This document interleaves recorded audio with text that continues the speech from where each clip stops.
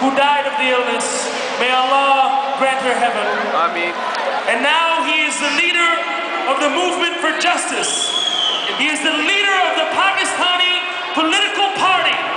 Please give a big round of applause and a warm London welcome to Brother Imran Khan.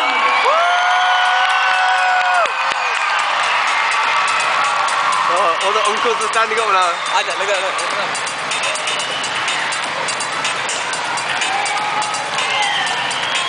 look, all the uncles come out.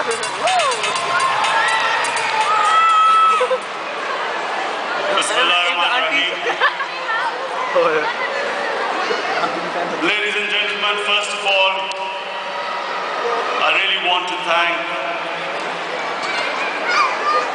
the Unity, the Global Peace and Unity organization to get me here. Give me about 15 minutes to talk to you.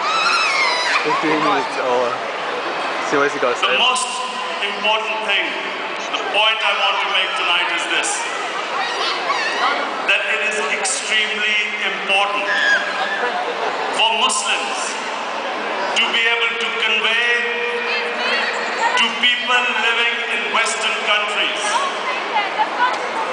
that there is no correlation between Islam and terrorism. Unfortunately, through a planned campaign, Islam and terrorism have been linked.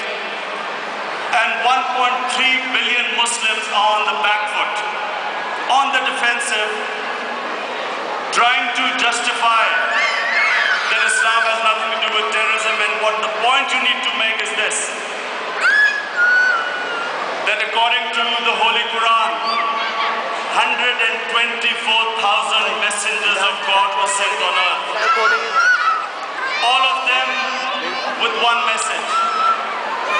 And the message was Not dumb. I'm just, like, this that the Almighty wanted us to be human beings rather than intelligent animals. Animals believe in might is right,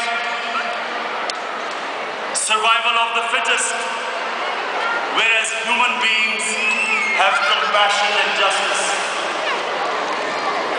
And Muslims were supposed to be and should be the community that, is, that should be compassionate and that should believe in justice, just like every messenger of God to every human community brought the same message. So when something like 9-11 happens, we should be able to tell those people who blamed 1.3 billion people for the acts of 18 people that terrorism knows no religion. All religions preach the same thing. And unfortunately, we do not have either the political or intellectual leadership in the Muslim world to be able to convey our point of view.